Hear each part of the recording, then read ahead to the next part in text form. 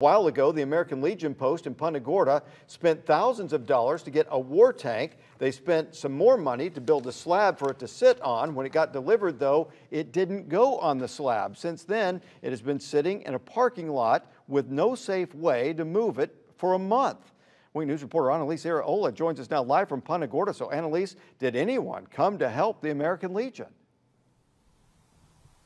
Yes, Russ, a local company stepped up and helped out today. Veterans at the American Legion Post 103 in Punta Gorda were left high and dry with this big boy just sitting in their parking lot when really it's supposed to be right here on this concrete slab the Legion paid $15,000 to build.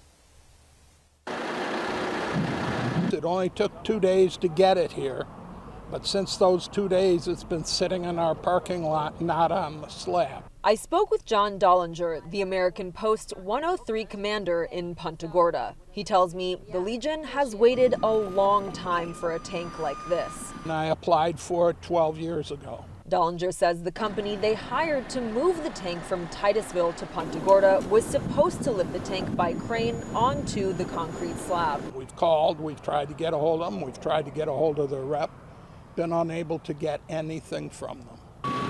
This tank weighs 51 tons, meaning it would crack the concrete if not moved by crane or very carefully. After the tank was delivered, it couldn't be moved at the time due to a storm. It sat there for a month. No one came back with a crane to move it. We do whatever we can for the community. Until one local Punta Gorda based company heard about the situation and decided to step up. Mike Dowling, heavy manager for Prompt Towing Services. Thanks to the veterans out there that are sacrificing their families for us every day. What can you do?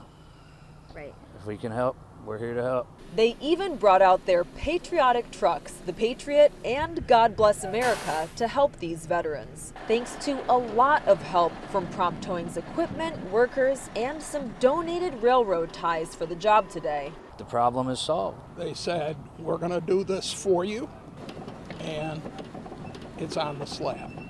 What else can I say? I mean, it's been a great day. As you can see, the tank is on full display now. Prompt Towing Services donated their time and services with no expectation of being paid back. But I spoke with the company the Legion originally hired to transport the tank, and they say they want to do whatever they can to make it right. I'll have their side of the story for you all new only on Wink News at 6 p.m. Live in Punta Gorda, Annalise Iraola, Wink News.